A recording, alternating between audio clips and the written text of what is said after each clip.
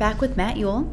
Did I say that right? Yes, All right. He's at Built on Twitter. that's right. And you also spoke yesterday with Marcus. Yes, I did. Dragons, Uh, craziness, yes, dragons insanity. Yes. Um, uh, what I actually thought about this because I know that you know people that might watch Strange Love might not be like you know completely full on nutty technical like you know a lot of people Half that showed half. up yesterday. Yeah. Yeah. So um, what my analogy was for that was that uh, we take we take programming languages and we do the equivalent of use a screwdriver for a hammer. Mm-hmm. So um, you know, you're not supposed to do that with tools, right? That's that's a no-no.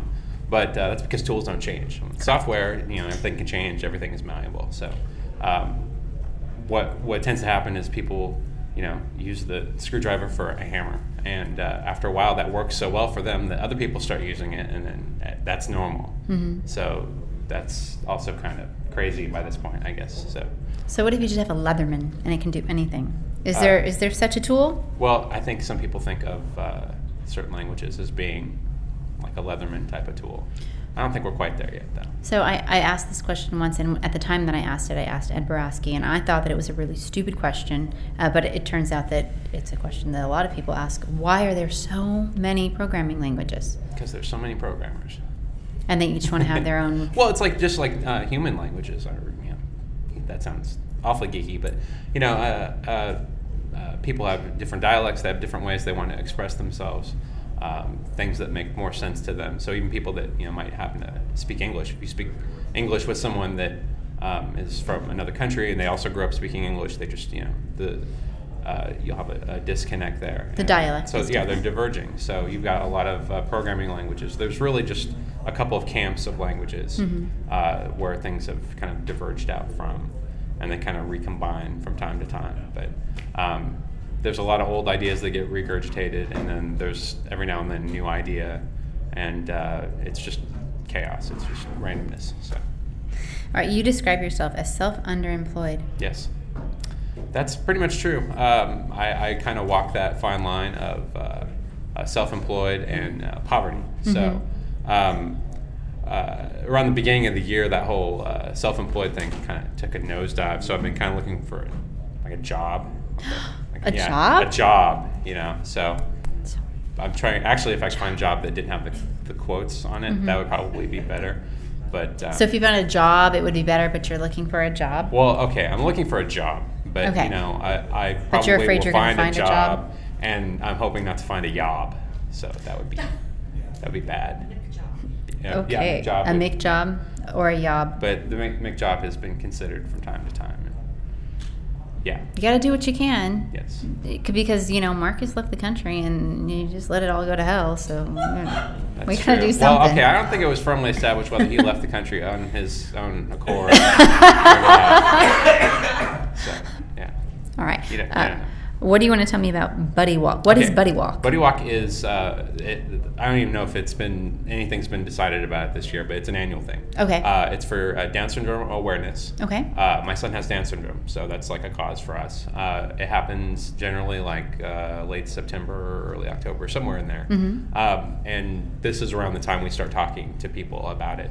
Um, well, and what it is, and what like the last one last year was uh, we got a couple hundred people at the Rose Quarter, Mhm. and we walk around in a big circle, and you know there's like T-shirts and uh, some people play music, and there's you know snacks and that sort of thing. It's like a festival. But it's it's kind of a, a thing. It's a couple hours, and uh, you get to kind of get out in the community and uh, meet some actual people with Down syndrome, and uh, they're not like you know as weird as I think people tend to think. Uh, uh, and uh, it, it's it's like an opportunity for kind of communities to, to come together. is there a website for it? uh, yeah, uh, although locally, uh, I think it's the NWDSA. It's it's like nwdsa.org Okay. is the, uh, the the place you would go locally. Uh, there actually are tend to be a couple of different buddy walks in the area around the same time. This is the one that's actually in Portland.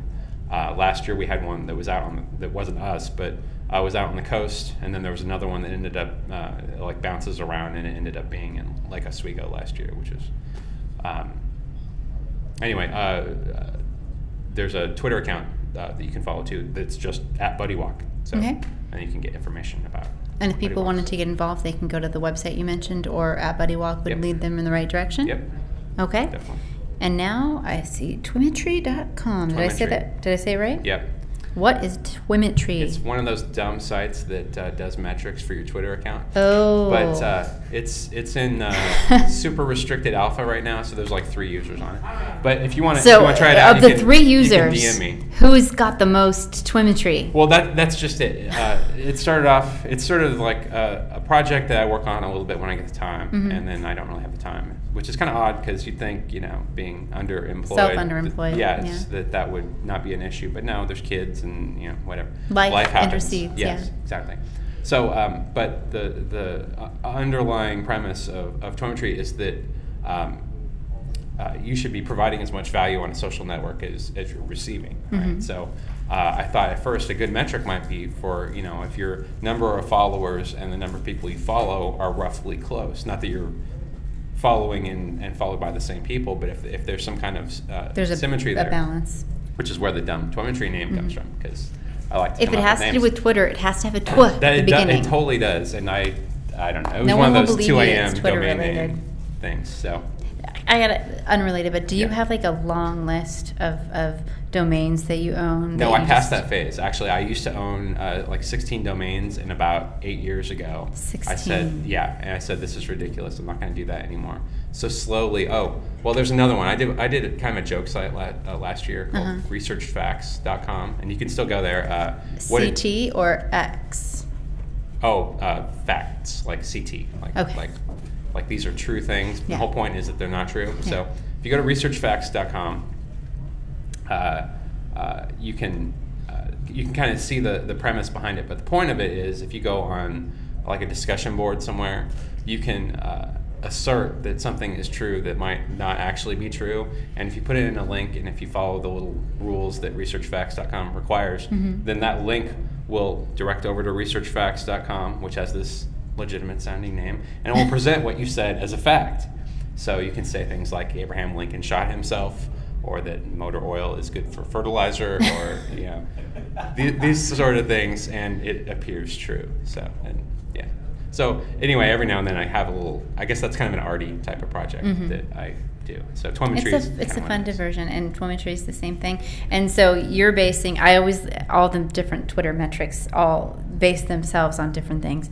So this one is based on equality Well, in your following It versus was, followers. but I figured out pretty quickly. In fact, about a week after I set this up, that that was wrong because Mhm. you get um, these. Uh, I have so many it. naked women followers that I I don't do even know not. what to do with them. And Um, all they want to do is have me go to their website and, and tell me that they love Actually, me. I guess I've had a couple of those, and uh, I go to their website and they want me to give them money. And no, if you really meant it, you'd just be You'd free, just- I guess. yeah, be so love me. What I figured out was that there's sort of this, I guess I'd call it like a d-bag factor with people that are just like, I'm going to have like, you know, thousands of followers, and I don't really care who these people are, right? Mhm. And they end up getting an equal number of people that they're following and who follow them because they're going back through and they're pruning Mhm. the people that aren't following them back. Mhm. And so they have 9,000 followers and they, they follow 9,000 people. And it's, it's meaningless because they're not getting the same kind of value out of this. And so, anyway, I realized that, that the whole trying to balance things out uh, metric is ridiculous. So now I'm trying to figure out new ways to figure out value that, that's based more on um, genuine connections and also uh, one- one one feature it's there's only a few features implemented but there's one feature that uh, will show you people um, like your f- you, you your friend on Twitter uh, you can see who they follow that you don't and maybe you'd like to meet those people. And it's kind of like a recommend a friend type of that used to be at replies. yeah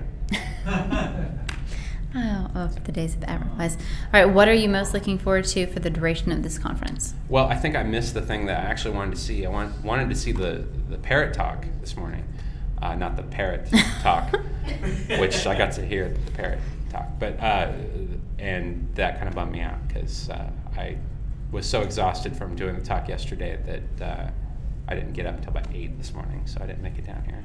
And uh, now it's uh, kind of like Marcus was saying, getting out and meeting people and uh, probably pop in on a couple of different talks just to get a sense of what's going on. All right. Well, I'm going to let you get to it, but thank you Okay. so much for coming back. I should note that uh, we had them scheduled yesterday before we found out that we were going to be able to live stream some of the talks. So it was really nice of both of you guys to come back in today. We really appreciate it. No problem. All right. Thank you so much. Thank you.